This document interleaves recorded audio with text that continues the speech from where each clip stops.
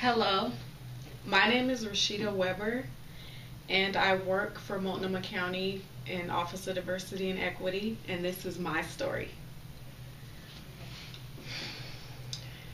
The process of me coming to the county was a long process. Um, I'm going to point out some key points.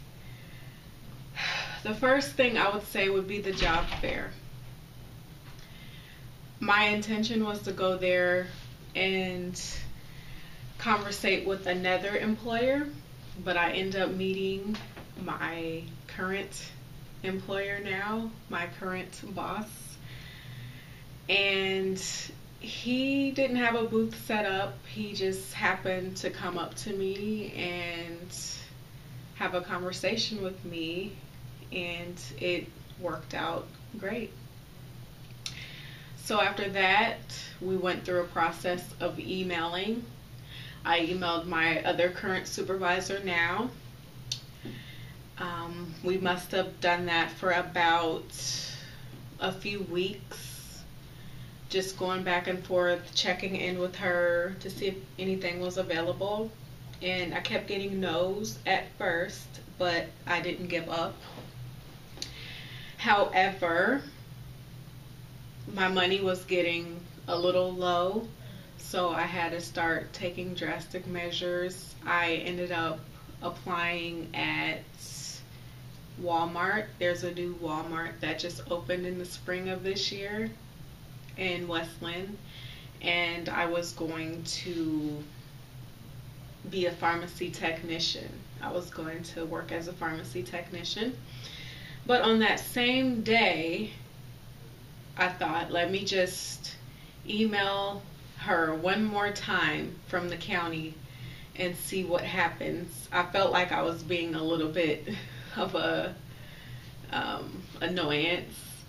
So I just thought, let me just do it one more time. So I emailed her one last time, and it was on that day, or if it wasn't that day, if I can remember, it was the next week she had something available and I came in on that same day for an interview. The interview went well and it seemed as though I was hired. So I thought, okay, if I get a call back from Walmart, I guess I can tell them I got accepted at another job. So they in fact did call me and accepted me for a position as a pharmacy tech. And I just told them I have another job. So, you know, I was hoping that the county would accept me.